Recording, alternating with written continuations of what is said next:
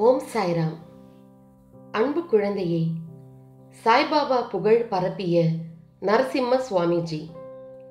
பாபா புகழை உலகம் முழுக்க பரப்ப வேண்டும் என்று நரசிம்ம சுவாமிஜி ஆசைப்பட்டார். சாய்பாபாவின் சிறப்பை பரவ செய்ய வேண்டிய பொறுப்பு நமக்கும் உள்ளது. ஷீரடி சாய்பாபாவின் புகழ் இன்று உலகம் முழுவதும் பரவி உள்ளது. குட்டி நாடுகளில் கூட பாபாவின் அற்புதங்கள் பேசப்படுகிறது. சமீபத்திய கணக்கெடுப்பு படி உலகம் முழுவதும் சாய்பாபாவுக்கு லட்சக்கணக்கான ஆலயங்கள் இருப்பது தெரிய வந்துள்ளது. அமெரிக்காவில் பல நகரங்களில் பாபாவுக்கு கோவில்கள் கட்டப்பட்டுள்ளன. அந்த கோவில்களில் அடிக்கடி பாபா அற்புதங்கள் நிகழ்த்துகிறார். இந்தியாவில் பாபா ஆலயம் ஊருக்கு ஊர் தோன்றி வருகிறது. ஷீரடி ஸ்தலத்தில் சாய்பாபாவுக்கு எப்படி ஆரத்தி செய்யப்படுகிறதோ எப்படி நைவேத்தியம் படைக்கப்படுகிறதோ அதே மாதிரி இந்த ஆலயங்களில் எல்லாம் ஆரத்தி உள்ளிட்ட பூஜை முறைகள் கடைபிடிக்கப்படுகின்றன. வியாழக்கிழமைகளில் ஷீரடியில் நடப்பது போல பாபா பட ஊர்வலம் நடத்தப்படுவது அனைத்து ஆலயங்களிலும் நடைமுறைக்கு வந்துள்ளது. உலக அளவில் செய்யப்பட்ட ஒரு ஆய்வில் சாய்பாபாவுக்கு கட்டப்பட்டுள்ளது போல லட்சக்கணக்கான ஆலயங்கள் இதுவரை எந்த இறை அவதாரத்துக்கும் குறுகிய காலத்தில் கட்டப்பட்டதில்லை என்று தெரிய வந்துள்ளது. ஆலய வழிபாட்டில் இது ஒரு சாதனையாகவும் கருதப்படுகிறது. பாபாவின் சிறப்பு இப்படி நாடெங்கும் ஒருங்கே பரவி இருப்பதற்கு நரசிம்ம சுவாமி செய்த பிரச்சாரமே அடித்தளமாக அமைந்தது. ஈரோடு அருகே பவானியில் ஆயிரத்தி எண்ணூத்தி எழுபத்தி நாலாம் ஆண்டு வெங்கடகிரி ஐயர் அங்கச்சி அம்மாள் தம்பதியரின் மகனாக நரசிம்ம சுவாமி பிறந்தார்.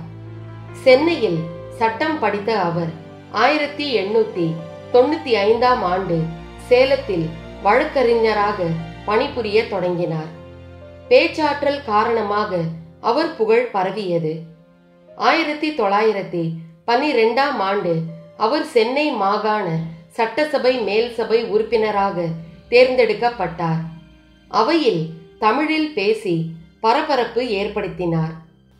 ஆயிரத்தி தொள்ளாயிரத்தி இருபதாம் ஆண்டு அப்பதவியில் இருந்து விலகிய அவர் நாட்டுப்பற்று மற்றும் மொழிப்பற்றுடன் திகழ்ந்தார்.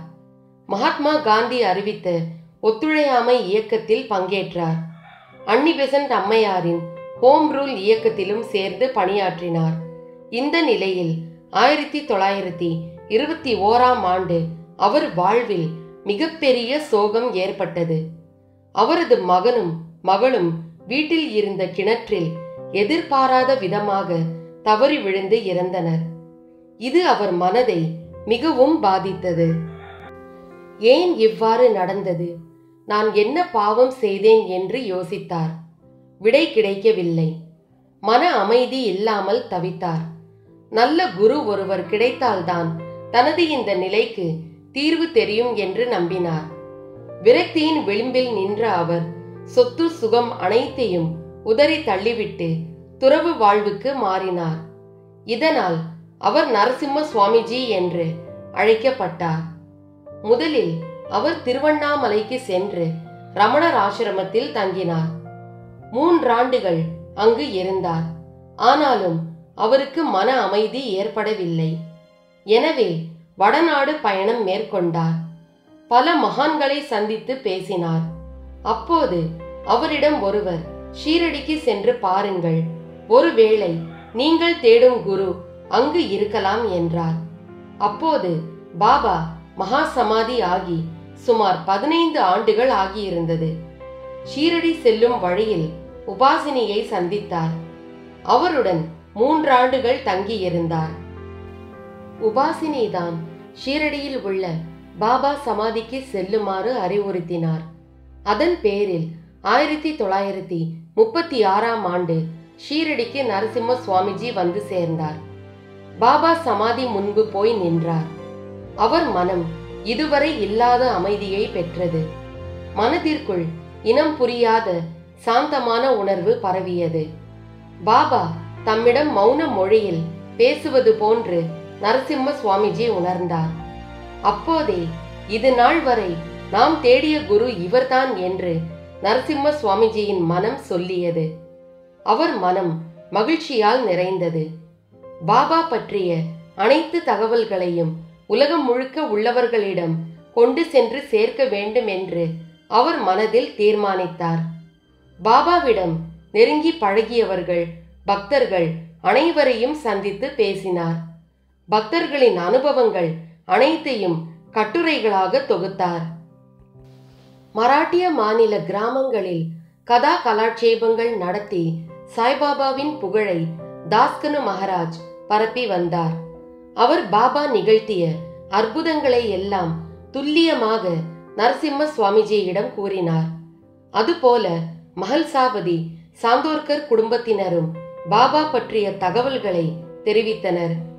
பாபாவிடம் உதவியாளர்களாக இருந்த அப்துல் மற்றும் ரேகே இருவரும் பாபாவின் தினசரி நடவடிக்கைகள் பற்றிய அரிய தகவல்களை கொடுத்து உதவினார்கள். இந்த தகவல்கள் அற்புதங்கள் அனைத்தையும் சண்டே டைம்ஸ் பத்திரிகையில் நரசிம்ம சுவாமிஜி உரிய ஆதாரங்களுடன் தொடர் கட்டுரைகளாக எழுதினார். ஆயிரத்தி தொள்ளாயிரத்தி முப்பத்தி ஆறு மற்றும் ஆயிரத்தி தொள்ளாயிரத்தி முப்பத்தி ஏழாம் ஆண்டுகளில் அந்த கட்டுரைகள் வாரந்தோறும் வெளியானது. இதனால் ஷீரடி சாய்பாபா புகழ் இந்தியா முழுவதும் பெருகியது. ஷீரடிக்கு செல்லும் பக்தர்கள் எண்ணிக்கை அதிகரித்தது.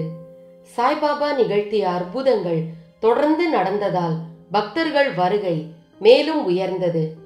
இந்த நிலையில் பாபா புகழை உலகம் முழுக்க பரப்ப வேண்டும் என்று நரசிம்ம சுவாமிஜி ஆசைப்பட்டார். அந்த எண்ணத்துடன் ஆழ் தியானத்தில் ஈடுபட்டார். தியானத்தில் இருந்து விடுபட்ட போது அவர் அருகில் ஒரு பை இருந்தது. யாரோ ஒரு நபர் அவசரம் அவசரமாக வந்து அந்த பையை வைத்துவிட்டு சென்றதாக கூறினார்கள். நரசிம்ம சுவாமிஜி அந்த பையை திறந்து பார்த்தார். உள்ளே கத்தை கத்தையாக ரூபாய் நோட்டுகள் இருந்தன. இதுவும் பாபாவின் அற்புதமே என்று உணர்ந்த நரசிம்ம சுவாமிஜி அந்த பணத்தை எல்லாம் பாபாவின் புகழ் பரப்பும் பணிகளுக்கு செலவிட்டார். ஆயிரத்தி தொள்ளாயிரத்தி முப்பத்தி ஒன்பதாம் ஆண்டு சென்னை திரும்பிய அவர் மயிலாப்பூரில் அகில இந்திய சாய் சமாஜம் என்னும் அமைப்பை தொடங்கினார். பாபா பற்றிய சிறு சிறு நூல்களை ஏராளமாக எழுதி வெளியிட்டார். அது மட்டுமின்றி தமிழ்நாடு முழுவதும் சுற்றுப்பயணம் செய்து பாபா பற்றிய அற்புதங்களை மக்கள் மத்தியில் பேசினார். ஆயிரத்தி தொள்ளாயிரத்தி நாற்பதாம் ஆண்டு சாய் சுதா எனும் பத்திரிகையை தொடங்கி அதில் பாபா பற்றிய கட்டுரைகளை எழுதி வெளியிட்டார். சாய்பாபாவை எப்படி வழிபட வேண்டும் எப்படி நைவேத்தியம் செய்ய வேண்டும் ஆரத்தி எப்படி செய்ய வேண்டும் என்றெல்லாம் மக்களுக்கு விளக்கம் அளித்தார். இதனால் மற்ற மாநிலங்களை விட தமிழ்நாட்டில் பாபாவின் புகழ் மிக வேகமாக பரவியது. நரசிம்ம சுவாமிஜியின் இத்தகைய சீரிய தொண்டு காரணமாக பல ஊர்களில் பாபாவுக்கு ஆலயங்கள் தோன்றின. மயிலாப்பூரிலும் பாபாவுக்காக நரசிம்ம சுவாமிஜி அழகான ஆலயம் கட்டினார். ஷீரடியில் உள்ளது போன்ற கோபுர அமைப்புடன் அந்த ஆலயம் கட்டப்பட்டது.